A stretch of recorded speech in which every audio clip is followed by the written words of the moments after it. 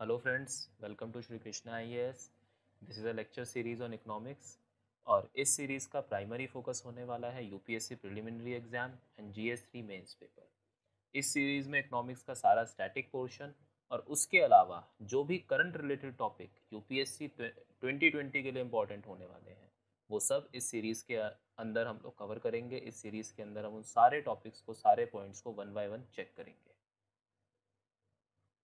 Course overview देखते हैं। सबसे पहले कवर करेंगे माइक्रो इकोनॉमिक्स उसके बाद चलेंगे मैक्रो इकोनॉमिक्स के ऊपर। ये दोनों topics preliminary point of view से बहुत इंपॉर्टेंट हैं। नेक्स्ट हम कवर करेंगे इंडियन इकोनॉमिक्स इंडियन इकोनॉमिक्स का मेन फोकस मेंस के अंदर है।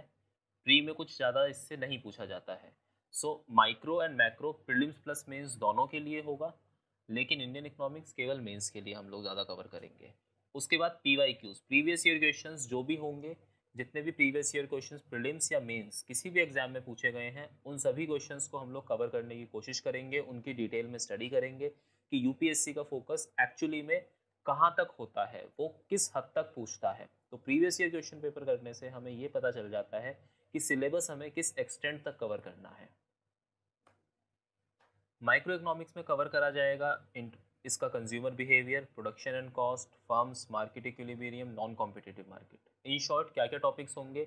यूटिलिटी होगा डिमांड होगा सप्लाई एंड डिमांड होगा फर्म्स का बिहेवियर होगा जिसमें हम लोग पढ़ेंगे मार्जिनल रेवेन्यू मार्जिनल कॉस्ट ठीक है? उसके बाद हम लोग कवर करेंगे प्राइस फ्लोर प्राइस सीलिंग और आपके अपॉर्चुनिटी कॉस्ट जैसे टॉपिक्स सो so, ये सारी चीज़ें हम लोग माइक्रो इकोनॉमिक्स में कवर करेंगे।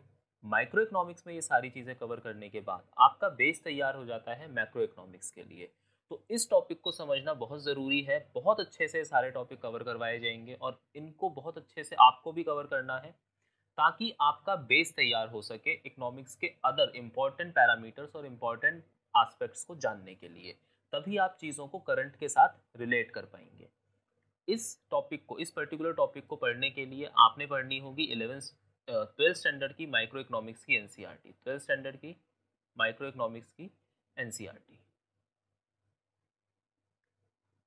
macro economics macro economics में होगा national income accounting. National income accounting में आपका जीडीपी, जीएनपी जैसी चीज़ें होंगी सारी और अदर जितने भी हमारे इनकम रिलेटेड और इनकम कैलकुलेट करने के पैरामीटर्स हैं, फैक्टर्स हैं, वो सारी चीज़ें डिस्कस करी जाएँगी।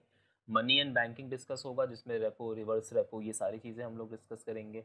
Income and employment budget budget हमारा स्टेट सेंट्रल गवर्नमेंट किस तरीके से हमारा बजट लेकर आती है balance of payment foreign exchange और इसके अलावा इसमें हम कुछ ऐसे भी टॉपिक्स पढ़ेंगे जैसे कि आईएमएफ वर्ल्ड बैंक और जो different indexes over the period of time World Bank या एक, या यूनाइटेड नेशंस या अदर ऑर्गेनाइजेशन डिफरेंट इंडेक्सेस देते हैं जिसके बिहाफ पर कंट्रीज़ की रेटिंग करी जाती है।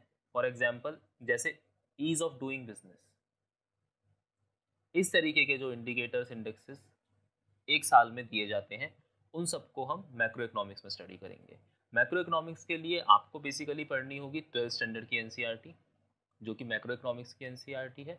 उसके अलावा जो इस कोर्स में आपको बताया जाएगा, वो सफिशेंट होगा इस पेपर को कवर करने के लिए। उसके अलावा एक जो चीज़ आपने और पढ़नी होगी, वो होगा किसी भी न्यूज़पेपर का, जो न्यूज़पेपर आपको अच्छा लगता है, उसका इकोनॉमिक्स का कॉलम दो न्यूज़पेपर जो सबसे अच्छे हैं यूपीएससी प्रिपरेशन के लिए, वो है इंडियन एक्सप्रेस या दी हिंदू आप इन दोनों में से कोई भी न्यूज़पेपर ले सकते हैं। इसके अलावा आप आप और भी कोई न्यूज़पेपर फॉलो कर सकते हैं जो आपको पसंद आता है।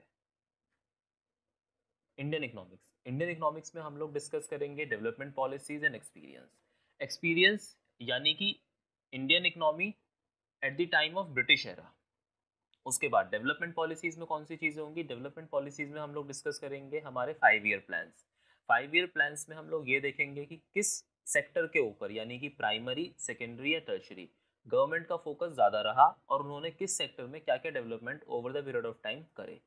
इकोनॉमिक रिफॉर्म्स में हम लोग स्टडी करेंगे 1991 के एलपीजी रिफॉर्म्स जो कि वीपी सिंह की गवर्नमेंट में, मनमोहन सिंह जी लेकर आए थे. सॉरी पीवी नरसिम्हा राव की गवर्नमेंट में मनमोहन सिंह जी द्वारा लाए गए थे।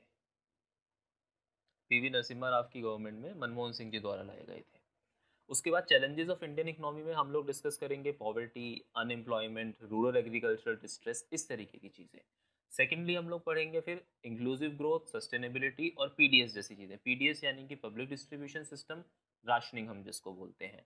इसके लिए आपको कवर करनी होगी इलेवेंथ स्टैंडर्ड की इंडियन इकोनॉमिक्स की book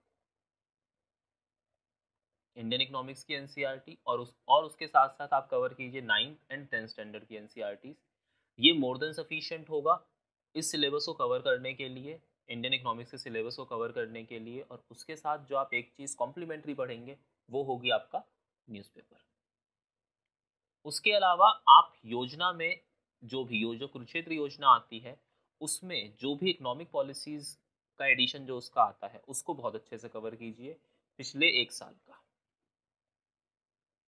Thanks for watching this video अगले लेक्चर में हम लोग डिस्कस करेंगे माइक्रो इकोनॉमिक्स का utility and demand thank you everyone